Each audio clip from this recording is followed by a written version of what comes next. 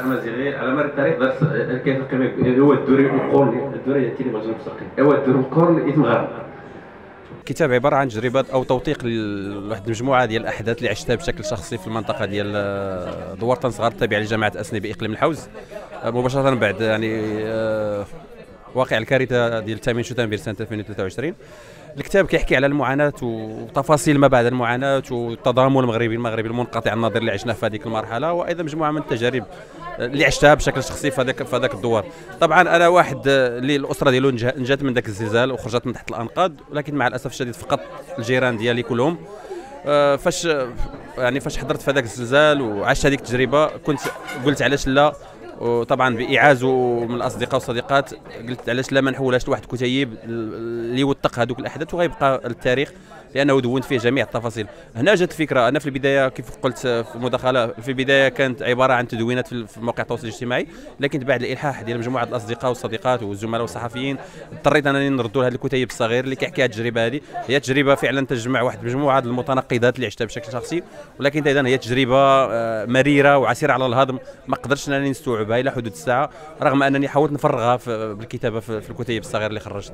أنا كيف قلت في بزاف ديال التصريحات سابقه يعني الزلزال كشف المعدن الطبيعي ديال المغاربة. حيت المغربي كتلقاه فوق الكارثة وفوق الشدة وفوق المعاناة. التضامن المغربي المنقطع النظير اللي عشنا في الزلزال لا يمكن لأي كائن كيفما كان أنه ينكره. كانت واحد واحد كان واحد التضامن منقطع النظير. كانت قوافل تضامنية من كل مناطق المغرب من الصحراء من الشمال من الجنوب حتى مغاربه الخارج أيضا قدموا لنا مساعدات. ما يمكنش توصفها وما يمكنش لأنه نقدر نقول لك كتستقبل ما بين 30 40 جمعية في النهار. على طول ديك ثلاث شهور ولا أربع شهور المغاربه كانوا يعني كانت قوافل في كل اتجاه في كل مناطق ديال الزنزان وهذا الشيء اللي كيكشف هذاك القيم ديال المغاربة وذاك التآزر وذاك التويزيا والتضامن اللي معروف به حنا المغاربة؟ وهذاك الكرم ديالنا راه دائما كيبان في هذه الكوارث هذو صحيح إلا ملي كتقول المغاربة ما كيديروش بعضياتهم لكن فاش كتكون الكارثة كتلقاهم فعلا المغاربة هما الأولين كيوقفوا معاك.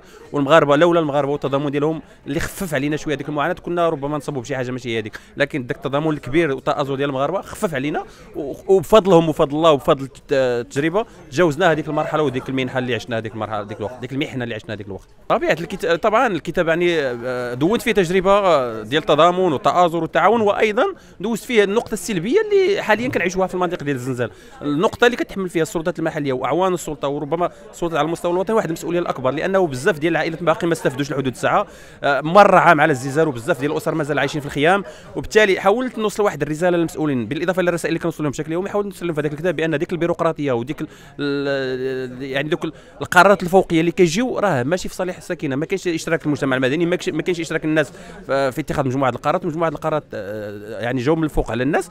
وهذا الشيء اللي آه، طال أمد المعاناة. لأن أمد المعاناة طال. راه بزاف الناس مازال في القياط راه عام على الزلزال وباقي لحد الساعة ما كاين شي حاجة. أيضا دوت في واحد التجربة اللي هي آه، عبارة عن أني مواطن غير مقيم. واحد بحالي أنايا والدي وعائلته كلها راه في الدوار ولكن كيشتغل في الرباط. بحكم العمل ديالو في الرباط داروا لي غير مقيم علما أنني فقدت المنزل ديالي. وقس عليا عليا بزاف ديال عباد الله. حاولت نوصل هذيك الرسالة بأنني وهي أنا خدام في المدينة. راه لولا الخدم في المدينة ما غاديش يعيش والديا في الجبال.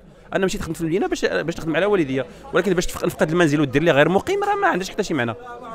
زاد تيم غاري بيدنس معقول ماشي بيدنس فقط الوقت اللي يدير بيدنس دار المساعده هنا درت ما قرني درت دوار ودوار درت كذلك تيم غاري ودوار تحول للصحافه درت تيم غاري ودوار سكنت سكنت سكنت الجناح حتى غير غير ولد كارت سميتو زنتو هاد سكنت غير الجنان سبعة المغارين كان كان تيني في